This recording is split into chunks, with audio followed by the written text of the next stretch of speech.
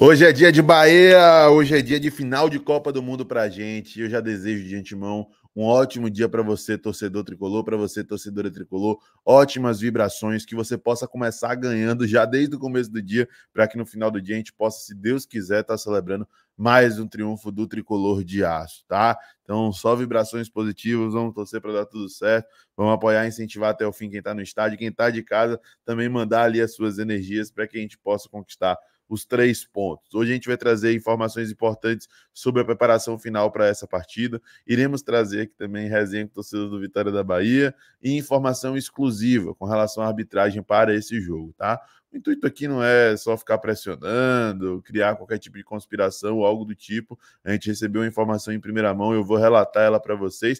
Eu acho que essa informação é muito importante. Do meu ponto de vista, essa informação é muito importante porque mostra que o Bahia não está inerte, não está parado, pacato, aceitando tudo, tá? Então a gente vai trazer isso e muito mais no vídeo de hoje. Bora que bora para mais conteúdo aqui no canal. Ótima quinta, meu povo!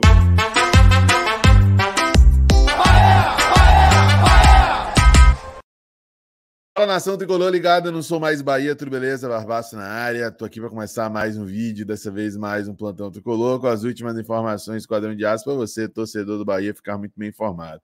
Chegou, deixa o like, se inscreve, ativa o sino, no mínimo três conteúdos por dia aqui no canal, você já sabe, claro. Compartilha com geral para dar aquela moral muito importante para gente. Vamos começar o dia rindo, tá?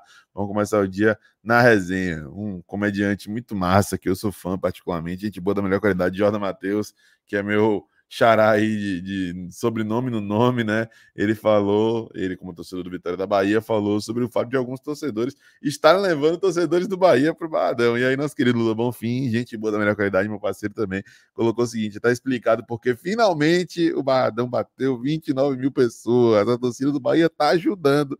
Olha aí que resenha, velho. Pronto, já falei do meu show agora, agora eu quero dar um recado para você que é torcedor do Vitória, que tá levando o torcedor do Bahia para ir curtindo diabo de estacionamento, se duvidar, levando até para dentro do Barradão. Que desgraça você tá fazendo, sua desgraça.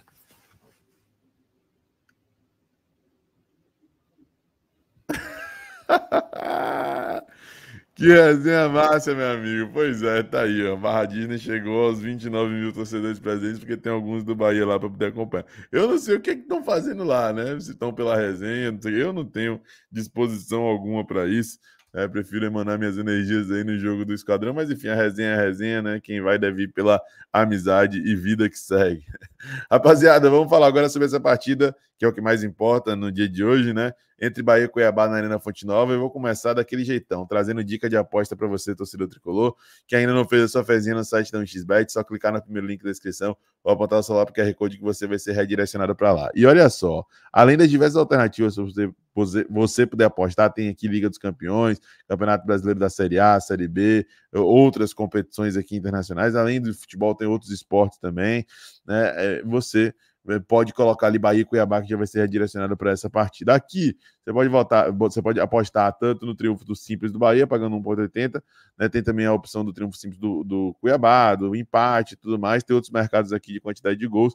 E aqui embaixo, ó, você encontra o mercado de anytime é de gol a qualquer momento. E aqui você tem, por exemplo, Cauli, gol a qualquer momento, pagando 3,60, ou seja, o valor que você colocar, você multiplica por isso. Sem contar que você pode dobrar o seu primeiro depósito usando o nosso código promocional BBMP, como vocês já sabem. Tem aqui, ó, gol de Everaldo Stum a qualquer momento, 2,8. Tá vendo? Então vale a pena, velho, você fazer a sua fezinha, você fazer a sua aposta, você acreditar aí nesse jogo do Esquadrão contra a equipe do Cuiabá. Tem outros jogos também para você poder apostar, tá? Então não vacila, não perde tempo, chegue junto no site do XBet. O código é BBMP, com ele dobra o seu primeiro depósito. E lá as odds são altas, a confiabilidade é grande, diversidade também. Só clicar no link da descrição ou apontar o celular para o QR Code, beleza? Adiante o Baba, vamos, parceiro, chegue junto por lá. Olha, gente, outro destaque do nosso plantão tricolor de hoje é referente à preparação final do Bahia para esse jogo contra a equipe do Cuiabá. O Bahia ontem fez seu último treinamento, foram três dias de treinamento, né? Um dia de folga nessa semana visando esse jogo contra a equipe do Cuiabá, tá? Tá aí, ó, decisão na fonte, elenco faz o último treino antes de jogo contra o Cuiabá, antes de pegar o Cuiabá. O esquadrão está pronto para o duelo contra o Cuiabá. Nesta quinta, dia 8, véspera do duelo na Fonte Nova, o elenco iniciou a tarde no auditório. A comissão técnica passou um vídeo com informações sobre o adversário desta quinta, dia 9, e ao mesmo tempo né, deu detalhes também da partida, eh, passou detalhes da partida contra o Grêmio. Em seguida, às 15h30, o preparador físico Danilo Augusto iniciou um aquecimento com bola no campo. No segundo momento, né, no mesmo gramado, o treinador Rogério Senna orientou o time durante o treinamento tático em campo aberto. Os demais no campo 2 participaram de um trabalho técnico em espaço reduzido. Os papéis foram invertidos. Quem estava no campo 2 foi para um tático com o Rogério Senna e quem estava no campo 1 participou de um exercício de bola parada com o auxiliar Charles Rembert. No fim, alguns atletas aprimoraram cobrança de falta e pênaltis, como já tem sido frequente. O zagueiro Raul Gustavo deu continuidade ao tratamento entre fisioterapia e academia, ou seja, Raul Gustavo de novo de fora, tá? Não vai jogar essa partida. Teremos aí o retorno de Vitor Hugo à lista de relacionados e possivelmente ao time titular. Teremos o retorno de de, de Canu e de Gilberto aí depois da suspensão cumprida no último jogo contra a equipe do Grêmio, tá? Então o Bahia vai reforçado aí para poder enfrentar a equipe do Cuiabá. O único desfalque, como vocês já sabem, é Tassiano, que levou o terceiro cartão amarelo. A gente já falou sobre a aposta para jogo, a preparação do Bahia, já trouxe resenha para poder quebrar o clima e agora vamos trazer uma informação em primeira mão, uma informação exclusiva e muito importante que chegou para a gente, tá? O árbitro dessa partida, como vocês já sabem, porque acompanham o canal com frequência, e se não acompanham, viram aí nas redes sociais, né? Este cara que aparece na sua tela da Federação Mineira de Futebol, o nome dele é Felipe Fernandes de Lima. Eu até trouxe uma situação envolvendo ele e o presidente do Cruzeiro, o Sérgio Rodrigues, há um tempo atrás aí, que foi relatado na época e tudo mais.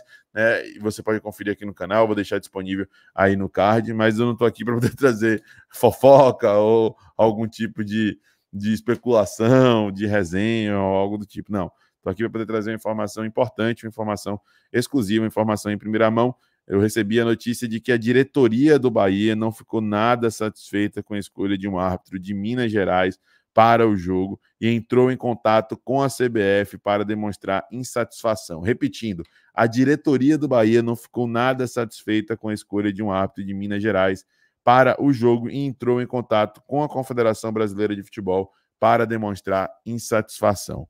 Por que Minas Gerais, Barbaço? Para quem não sabe, né, quem está fora de órbita aí, o Cruzeiro acabou de entrar na zona de rebaixamento, vive um momento delicado no campeonato, né? E apesar de estar com jogos a menos, tem uma chance grande de ser rebaixado, principalmente por conta da sequência de jogos que tem pela frente. E a gente não sabe né, qual o time que torce o Felipe Fernandes de Lima e nem se isso influencia de alguma forma na sua decisão, mas a gente sabe que ele é de Minas Gerais e é, no mínimo, imprudente colocar um árbitro né, de uma localidade em que está tendo uma disputa direta contra o Bahia e também contra o Cuiabá. Tá? Então, a insatisfação do Bahia foi nesse sentido e a diretoria do Bahia se manifestou perante a Confederação Brasileira de Futebol mas já sabendo que dificilmente vai ter algum tipo de resposta positiva e o árbitro vai ser mantido. Porém, ir para o jogo com o árbitro nesse sentido, pressionado, a Confederação Brasileira de Futebol pressionada, eu acho que é importante para a gente poder aí, de alguma maneira, mostrar a nossa satisfação, mostrar que estamos atentos, que estamos ligados. Para muitos pode parecer choro, mas David Duarte falou em entrevista sobre erro de arbitragem, Cauli falou em entrevista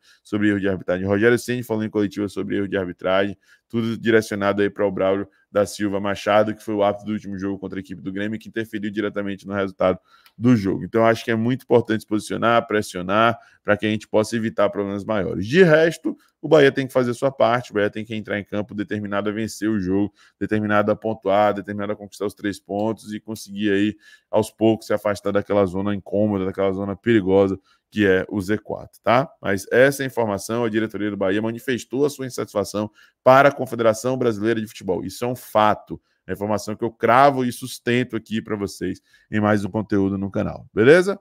Vamos para o jogo, vamos para a guerra. Vamos torcer para que o Bahia saia com os três pontos e a gente possa sair feliz da Arena Fonte Nova no dia de hoje. Se você está com dúvida, está pensando duas, três vezes, né, já define logo aí, pai. Bola para Fonte Nova, Bahia precisa da gente. Vou empurrar, incentivar, apoiar a equipe do começo até o fim. Valeu? É isso, meu povo. Se gostou do vídeo, deixe seu like, se inscreve, ativa o sininho e compartilha. Lembre de fazer a sua fezinha no site da XBET, código BBMP, que dobre o seu primeiro depósito. Link da descrição ou o QR Code que aparece na sua tela. Chegue junto por lá, que com isso você vai ser redirecionado para o site da 1xBet.